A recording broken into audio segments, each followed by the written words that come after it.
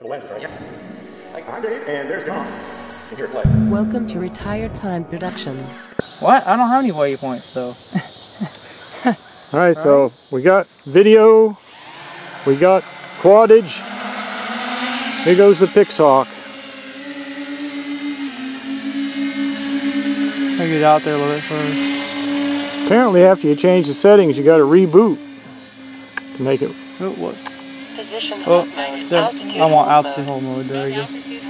It says it on there too, though. so that's oh. something. Got it on altitude hold right now. Well, the Taranis is in control, I think I'm turned a little cock right and there. we got a little map of it flying around down here. Okay. here. On the cell phone, it's an Android, and telemetry radio right here, talking to the quadcopter for data, data feed. Five Gotta go all dot to eight green video. and back if can. So now the quadcopter is way down here. Jon's watching it in the FPV monitor. Better get a little extra altitude here. Battery at 90%. Got plenty of battery. Nice. altitude here right now. Get up there high enough. I think we're. What are you going to experiment here with? Let's get it up a little bit higher. You to do return. I'm down here near the green. I'm just well a little bit from it, but oh, whoops. I think he's going to try return to home, but I'm waiting to see. It's way out there. I'm there. gonna fly over to the green. It's going way over this green here, which is way down the end. I can barely see it. I'm really moving, ain't I? Yeah, you're way down there. But I got good clear signal though, which is great. All right, you going to flip it? What, return to launch you mean? Yeah, I didn't know if that's what you were going Right. to plan. Return to launch. Oh, I went back in auto tune again. It must have lost the setting for that. All right. hold. All Must right. have lost the setting for that. I'm gonna bring it back. Oh, there's Mike's plane. I'm gonna go into position hold. Position hold mode. There you go. There I you are. Guided for a second. Now I'm stabilized, hopefully here. Oh, Yeah. I don't want to gain out too. I want to lower. So the auto tune is still on, and so we couldn't do a return to home right now. But I I'm actually able. To, I'm actually able to fly it um, with a good precision and uh, position hold. yeah, it's very precise. This is the Pixhawk I'm coming in kind of close, anyway. 450 quad with the Pixhawk and 5.8 video. I see you landed a right good there. picture of it right there. I'm gonna have to go to the left a little bit to get it away from his plane. Oh, having trouble following it. Oh, he's now in the way. Okay, there you go. Now he's out. Bringing it in. Coming right at me. A little closer would be better. A little closer, yeah. I'm zoomed all the way out now. This hold actually is going really good with this. You're now close to where you took off from. Have to bring it down here. Oh, that was a beautiful landing. Awesome flight, Jon. Awesome flight. Still, the we still gotta figure out why the other one's still like that, though. You know, The auto tune, yeah. the auto tune, yeah. Yeah, just So what's your battery voltage now? Uh, 62%, um, but 15.45, something like that. Okay. Let's see about that uh, parameter thing here real quick. I got 62% battery on here though. Um, Walk up here and take a look. There it is right there. I'm going to take a risk and put my hand in there and just turn it around. There. you can hit that button right now if you want. I'm going to go ahead. I thought I wrote that one. I want to change that. Oh, do I have to hold the button?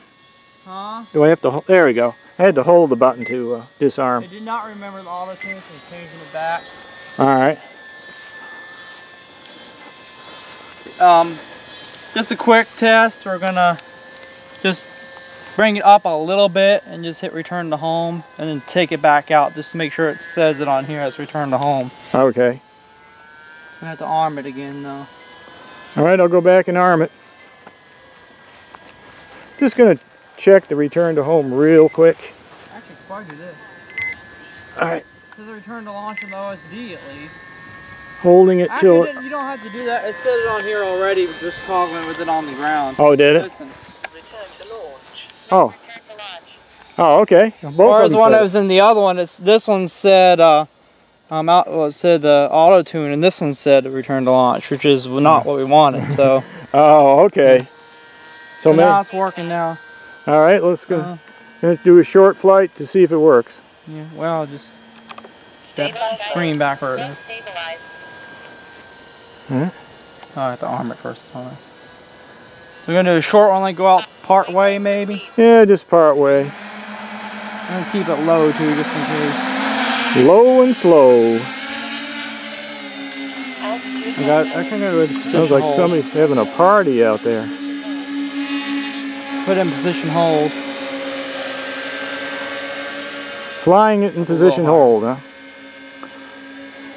That's good enough, you think? Maybe a little more. Yeah, that'll be fine. Over this way in case it tries to go for the tree. Oh, yeah, I don't know. Just in case it tries to go for the tree, that's what that's for. All right. Okay, now, return to launch. Let's give it a try here. Oh, wait, wait. Return plane was in the way. launch. Mode return to launch. It goes up and it's coming back.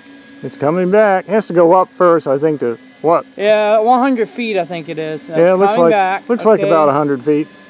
Coming back, you know, hopefully it won't try to drop on us. Where is oh, back Oh, there it is. Oh, it's right over our heads now. I took it out. He took it out, but it was working. It's spinning the wrong way, though. There, we we go. So it does go out work. just a tad so they don't end up hitting that tree. Bringing it down. Bringing it back Still in down. position hold, by the way. So return to home did bring it back. He he wants to land it I'm at manually 50%, so I'm going to have to bring it in pretty quick here, but see what I can do here. Landing it manually. Well, somewhat manually.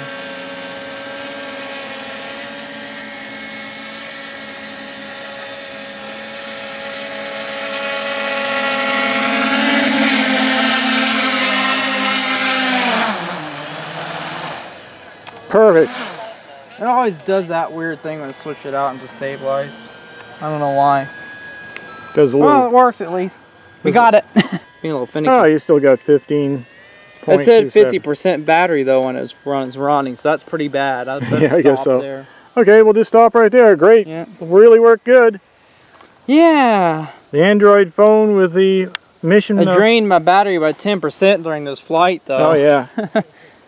That's So- where I need a. Uh, that's where I need one of these OTGs that has the power adapter on it. So what are you using on this to pick up the map? Is it the uh, 3G? GPS within here using the app. Is it using 3G for the communicate with Google?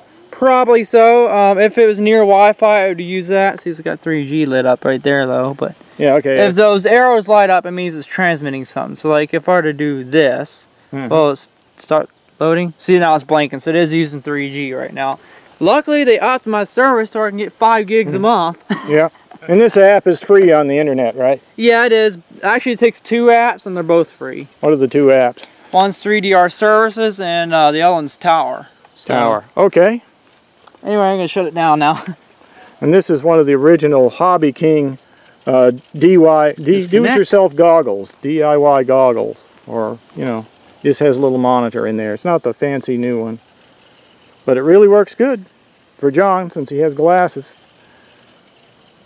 RSSI critical. Telemetry That's done? lost. Okay, it's done. Over and out. Your flight.